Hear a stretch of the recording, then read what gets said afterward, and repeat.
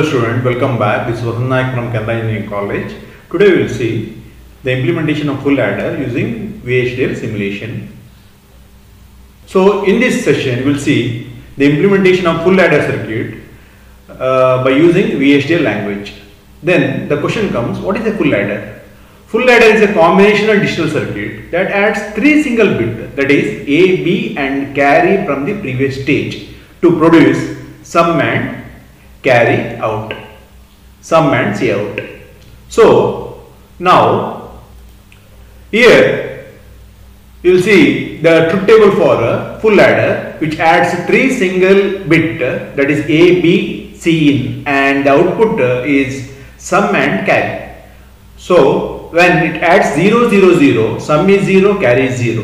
When it adds 0 0 0 plus 0 0 0 plus 1 1 sum is 1 carry is a 0. When it adds 0 1 0 that is 0 plus 1 is 1 1 plus 0 is uh, 1 sum is 1 carry is 0 similarly if you take 1 plus 0 is 1 and 1 plus 1 1 plus 1 is uh, 0 sum is 0 and carry is uh, 1 similarly last case 1 plus 1 uh, is sum is 1 and uh, plus 1 is carry is 1 so this is the truth table of uh,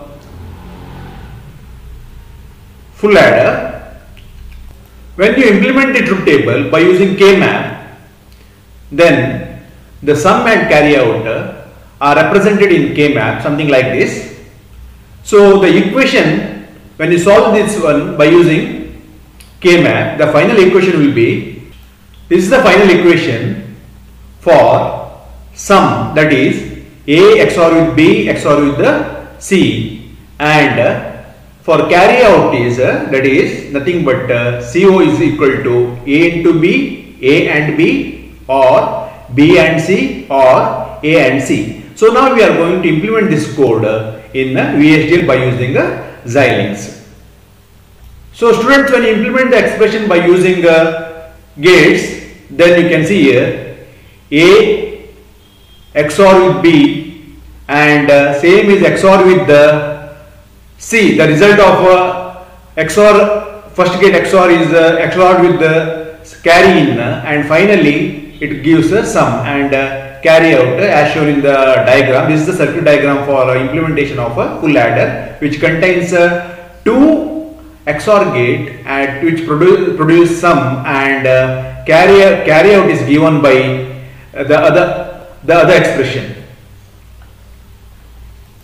So students will implement this one uh, full adder by using our uh, Xilinx software. If you install Xilinx on your Xilinx on your uh, machine, then you will get icon on the desktop. Here you can see the icon.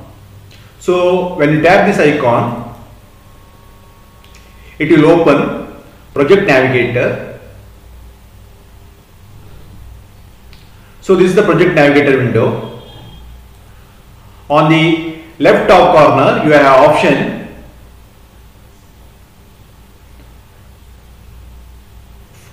for file. When you click on file, you will get the option like new project, uh, open project uh, or close project. If any uh, projects are open, then close that project first. After that, once again click on the file option and click on new project option. So this will pop up with the new project wizard to create the new project. So here you will give project name. The project name can be contain alphanumeric character, numbers, etc. except uh, special characters. But you can use a special character such as underscore here. So the project name I will give full underscore adder, full underscore adder, and uh, this shows the project location. If you want, you can change the location of your uh, project directory by selecting the particular directory in the directory structure. Once you set the directory structure, then click on next. So here, this gives the information about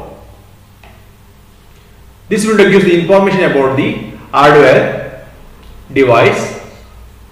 So this gives the information about the uh, our FPGA hardware that is the family according to the manufacturer is a Spartan 3E. Here drop down uh, menu is there you can select but uh, in our case we will select uh, Spartan 3E.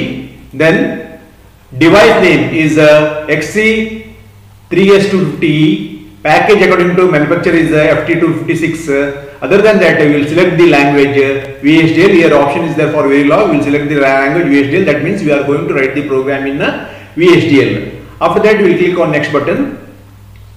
So next uh, here you will get the final information about your project project summary summary which includes the uh, device configurations and uh, uh, language other information click on finish. Once you click on finish you will see here the package is created. Our FPGA is created here and our project name is uh, visible here on the left hand side top corner so now you have to program this uh, uh, package that is our FPGA. For that you have to right click uh, our project and uh, add new source. When you add new source, uh, it will pop up with the new source wizard where you have to select the language in which you are going to uh, write the program. That is the language VHDL module, module we will select this time and file name. So file name is file name can be same as project name also. So I'll give you a file name full underscore adder. Then click on next. Here you are going to give the input. You are going to mention the port that is input port and output port and direction. That is the mode of the port whether the uh, uh, port is in or uh, out or in out so let me enter here. That is x comma y comma c in. These are the input uh, port. And uh, other than this uh, we have some comma C out. That is sum and carry out. That sum and carry out is the output port. Click on output mode. Then click on next finish so here you can see the entity is created for the particular hardware so click on the entity here you can see some code has written by the Xilinx software for us. So here some of the information we can delete. All those informations are all these all these lines are comments we can delete and here you can see the first three lines uh, is nothing but uh, uh, is a declaration of library other than this you can see the declaration of entity followed by architecture. So entity declaration is a entity full adder is port and uh, circle bracket x comma y comma c in uh, type in uh, of data type uh, standard logic. That means uh, all these are defined in uh, standard logic. Standard logic is a uh, this one standard logic is a uh, library library function or it is a part of library library. It is defined here. That is IEEE dot std underscore logic dot underscore 11164 dot all. So this contains all the function uh, that is necessary to write our program here followed by sum and cout of type out that is mode is output port and of data type once again standard logic for, followed by end entity with the end with the entity name that is full adder. Similarly, we here this is the architecture declaration architecture with architecture name follow of particular entity. So this architecture belongs to this entity is begin end. So here you need to write our uh, code. So let me write the code So student, this is the code for sum this is the code for sum and uh, carry so sum is assigned with the this is the assignment operator so this is the assignment operator assigned with the x XOR with y once again that is the result is XOR with the C in. Similarly carry out is assigned with the x and y or OR with the x and c in OR with the y and c in. So please remember you have to end the statement with, statement with semicolon, semicolon. Similarly in entity also all the statement except the last statement. Here you can see the first statement uh, contains uh, first statement contains a semicolon but this statement uh, there is no semicolon. The semi you have to put the semicolon after the circle bracket or a round bracket. So once this is done then you have to check uh, uh, whether any semantic error is there or uh, uh, logical error is there in our code for that uh, you have to click on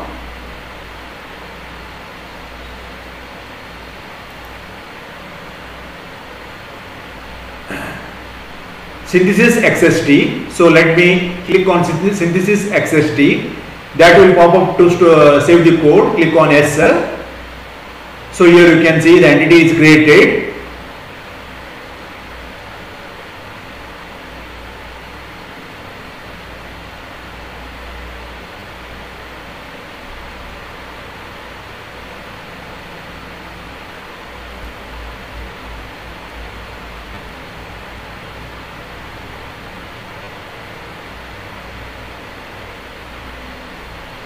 So synthesize process has been completed and you can see here uh, green tick mark that means uh, our code uh, has been written properly and it is ready for to create the hardware. We can create the hardware from our code. So once this is done the next step is you have to give the input to the our code for that, that process is known as a test bench. Test bench is nothing but a giving input to the design. So here, before proceeding to the test bench, here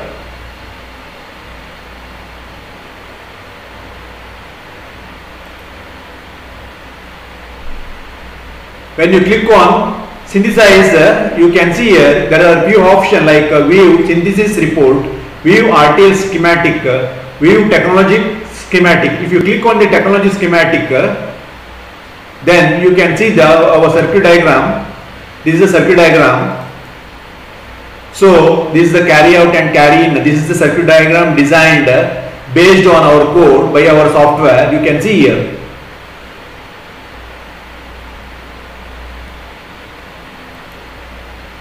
So once this process is done, then next we will proceed to test bench. For test bench, once again click on the package, right click, new source. This time there are two options. Test bench is the process of giving input. You can give the input either in terms of uh, waveform or by using test bench waveform or you can use uh, VHDL test, test, test bench where you are giving input uh, by using a stimulus that is you are stimulating the EA input by writing the code. So uh, for understanding the, the, in the better way, first you will see test bench using waveform. So click on test bench waveform option. When you click on test bench waveform option, here you have to give the file name for test bench.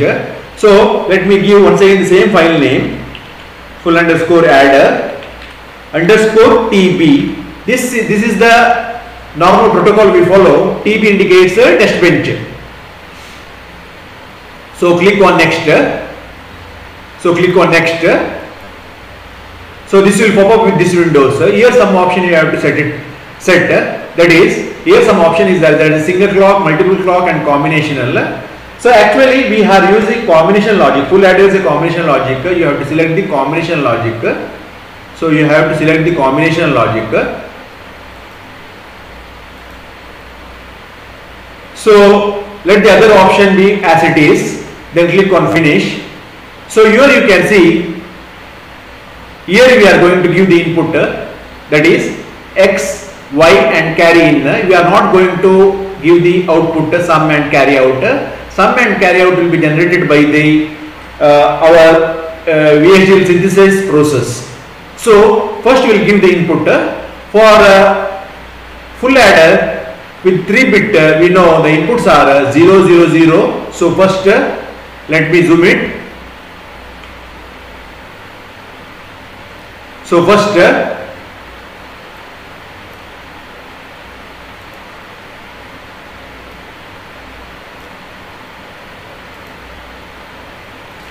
I will give the input here between 100 and 200 time interval that is first 0 0 0 second one is uh, 0 0 1 I will make this as a 1 0 0 1 third one is uh, 0 1 0 so here I have to make this is 1 0 1 0 fourth one is uh, 0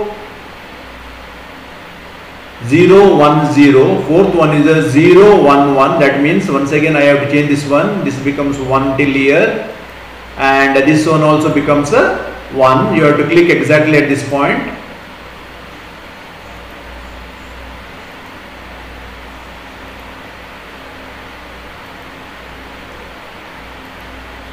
Zero one one. 0 1 1 let me repeat once again first combination is 0 0 0 second combination is 0 0 1 0 0 1 third combination is 0 1 0 fourth combination is 0 1 1 fifth combination is uh, 1 you have to click here. 1 0 0 sixth com combination is uh, 1 0 1 that means you have to make this uh, high logical high 0 1 1 next combination is uh, sorry that is uh, 101 next combination is uh, 110 so here 110 110 and uh, last combination is uh, 111 so you can see here all these are different combinations of input I have given. You can write the code. For better, better practice you have to write the code input code uh, in uh, VHDL uh, stimulus section. But here uh, for a couple of programs uh, we will give the input and we will try to understand the output. So here you can see let me zoom out.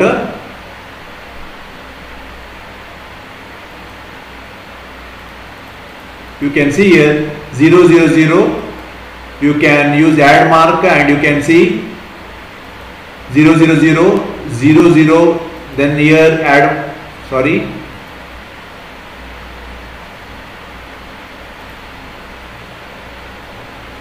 so you can see here the input values uh, 0 0 0 0 0 1 0 1 0 0 1 1 1 0 0 101 110 and 111 after that 000 so if you want you can add, right click and you can add the add mark. Right click and add the add mark and the corresponding value. You can see here the corresponding value. Okay. Now we will proceed. Once this is over then uh, you have to we have given the input now. We have to simulate the uh, process. For that go to process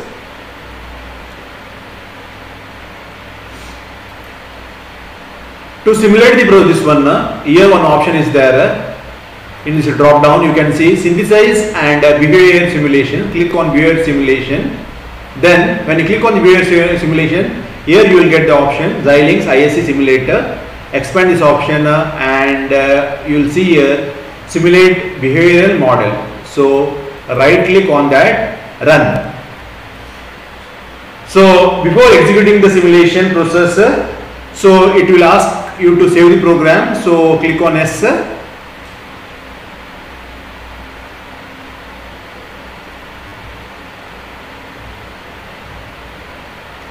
Yeah simulation has, has been completed. We'll see the value now.